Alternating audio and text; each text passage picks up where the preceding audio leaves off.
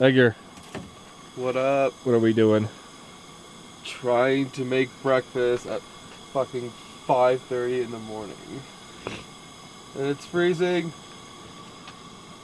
We weren't supposed to really be in Gunnison last night, but I think this spot's gonna be pretty epic if we're here long enough for the sunrise, which is almost two hours away.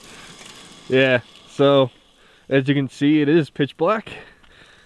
The only thing we do know is there is some rocks somewhere over there, yonder. And we pulled into this campsite stupid late. Not stupid late. It was like, what, 9 o'clock at night? maybe 8.30 but i mean it gets dark at like 7 7.20 now so seems a lot later than it actually is So yeah, welcome to the big one. Big one being the biggest that we've ever done. Which uh, you'll find out in like 30 seconds when we get there. so hopefully this video is going to be a little bit better than most. Um, it's also going to be longer. It might be a couple parts. Hopefully we get some daylight out here so we can show you the campsite better via drone maybe maybe. also, if they'll let us take off, because apparently, according to DJI app, there's a no-fly zone like where that mountain is or hill rock is. like Like- 50 yards away Yeah, it's not very far, so we might not even be able to fly. But we want to get on this trail early. We have a long, long couple days of driving in front of us. Hopefully not three. We kind of want to get done in two, so we can have one extra day of play. So we're gonna warm up, have some breakfast, and hit the road. What's up, guys? So we are at the trailhead, or what we think is a trailhead because directions say there's a flat area to stage off-road vehicles. But we are doing the Rimrocker. We're currently in Montrose, Colorado. We are going to Moab. Rimrocker is a 160 mile stretch of multiple trails linked up together, and it's called the Rimrocker. We are airing down to about 25 psi. We could go down further. Is the first time we're ever airing down, so we're gonna give it a try. Um, I do have an air compressor. I've always had one, but these new tires are a little bit stiffer than the old ones, so I'm gonna give Gonna give it a go and air down. So we're gonna air down to 25 and uh, hit this trail. Should be two to three days. Not sure. We have maps. We have the directions. We're just gonna go for it.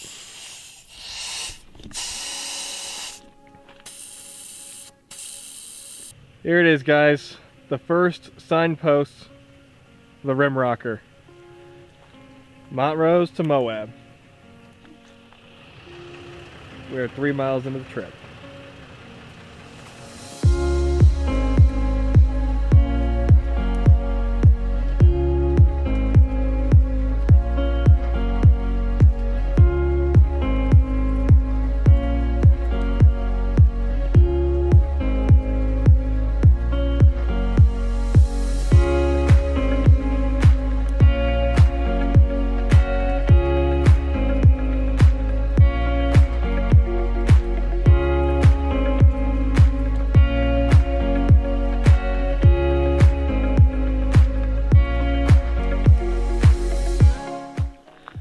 Well, guys, we are about 20 miles into the trail.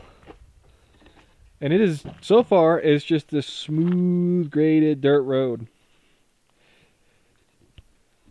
Seen a lot of animals, a lot of cows, some deer, a lot of hunters. It is this time of year, time of year to go hunting. And uh, as we're driving down this road, I realized in my prep video, I completely forgot I haven't recorded a video since I got this six and a half foot awning which Edgar and I had to make custom brackets for. We also have an annex room for that, which is why the bed of my truck seems way more full than it is normally, because I added another tote with the annex room, if needed. So, yes, pretty good so far. Airing down the tires to about 25 psi is definitely more floaty, It's our first time doing it. I'll also say that these lights at night, because we left the campsite at 6 o'clock in the morning, no light. We couldn't really show the campsite in the uh, daytime, but it was. These lights are fantastic. They are super bright. The only thing I wish is I wish I had a tall one maybe up there to shine more going down like this instead of the low one which on a hill, you know, when I'm going up a hill like this, the light doesn't go up the trail so much. But yeah, we're going to continue going on. I think we might put up the drone here for the first time. But yeah, this is pretty fun um, so far, 20 miles in. Oh, I guess while you're setting this up, I'm going to explain how we're uh, navigating. So, not only do we have screenshots of the detailed instructions, but I also have onX Maps, and I downloaded the trail. So these work offline, and I'm able to follow the trail on that, as well as the detailed instructions. Let's get this drone up.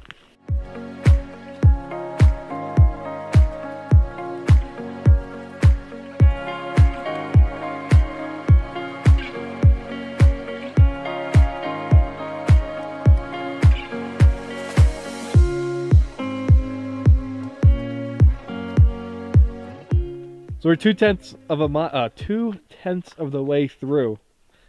What do you think of this one so far? Uh, so far it's been really easy. Uh, I mean, yeah.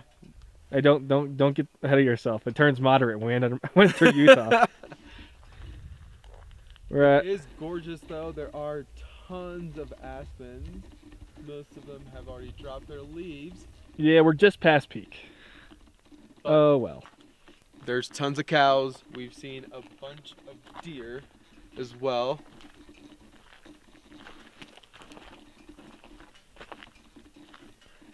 That is a good view. Imagine if it was peaked. Peak colors. Maybe we might hit peak colors in Utah or something. Lower in elevation. Maybe, but we'll see soon enough.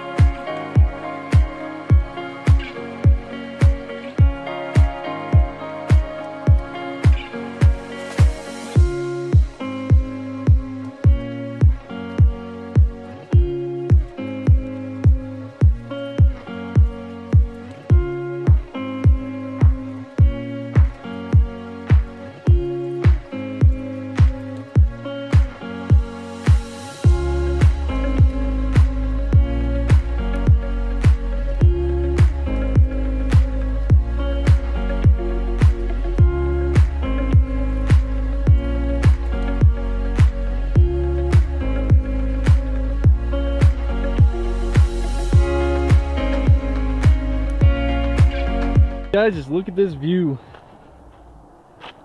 It's pretty cool with the river right there. There's Highway 141 down there. It's remnants of the old mining community that used to mine out of here.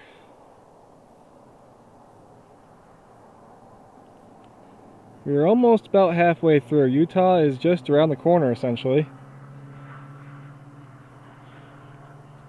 But we're enjoying it so far, right?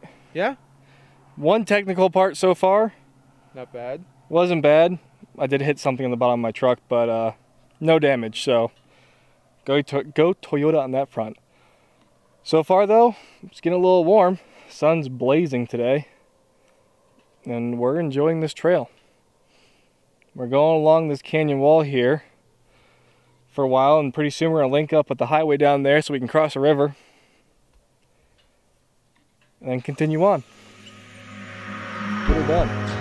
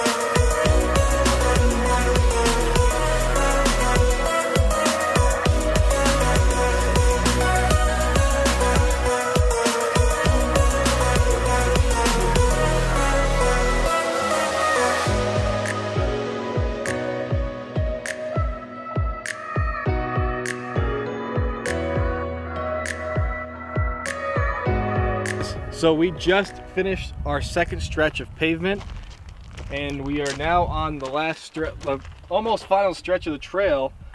Uh, we are, so we started here. We came all the way down through and then this is all pavement right here through Nucla and then it continues dirt from right here.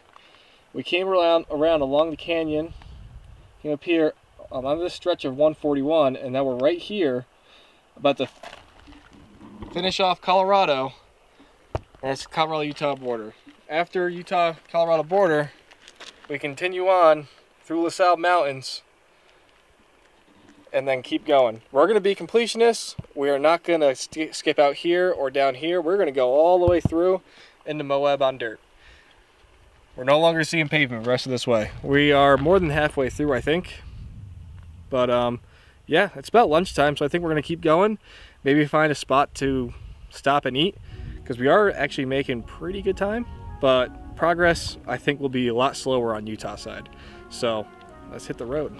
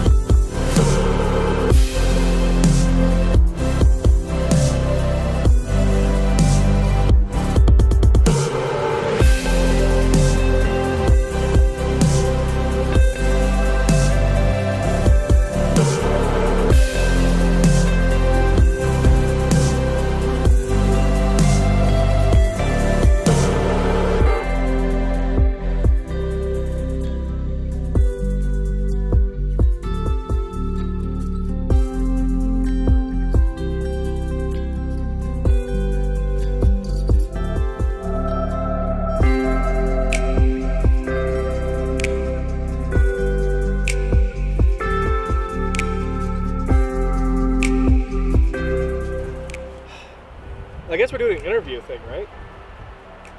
That's Not what this is, an interview. Like they always do with the NFL overlanding videos. We could. Yeah. So, anyways, I think this part of the trip's going to be pretty long, video-wise. And I'm sorry about the wind.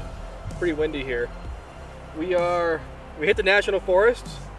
We're maybe what mile, two miles out from the Colorado-Utah border. He doesn't really know. No, We're I don't pretty really know. close. Yeah, we're close. I looked at the map and it's it's closer than we have been so far.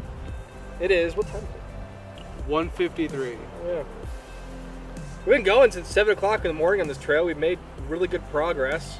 From like waking up at like 5, 5.30 Yeah. this morning. Yeah. But um, we don't know where we're gonna call tonight. I think some people recommended the Buckhorn, Buckhorn, Buckeye. Buckeye. Anyway, campground up here right before the Utah border. I don't know if we're gonna do that or if we're gonna continue on into Utah. Uh, apparently, we've been making very good time. Yeah, quicker than usual, I think. I don't know if it's because there's not a lot more people on the trail or Josh has just been flat footing it the entire time. Yeah, I'm not easy on my truck. But I may have hit skid plates a few times. yeah, got some footage of that. Um, yeah, been pretty fun so far. Actually, kind of easy to be honest. Um, besides going slow on most parts, it's it's been a really easy trail. Some cool views here and there. Um, yeah, Yeah, it's really not bad. Uh, after you get past Highway 141, it gets slightly more technical, but I mean, he's taking it slow. I have a stock truck. I mean, I could have done this with my old tires. A couple steep inclines. right. I didn't put it in four wheel drive until I wanted a little bit more assistance going downhill with braking. I think you probably could have done it without Yeah. four-wheel drive. I went without four wheel drive for a long time. Yeah. But I think we're going to call part one, this one, done. And we'll pick up part two pretty much when we leave here. So stay tuned for that one. Thanks for watching. And I guess I don't really ask for subscribers, so come back and watch the next one, I guess. I don't I don't ask for subscribers. What is that? Why do people beg and plead for likes and comments? because they get enough money to where it's worth them mentioning it. That's why. Yeah. No, we don't make any money from this. We just do it for the fun of it. And I lose show. money doing this. Oh yeah. yeah, I'm broke. Don't let my nice things fool you. I'm broke.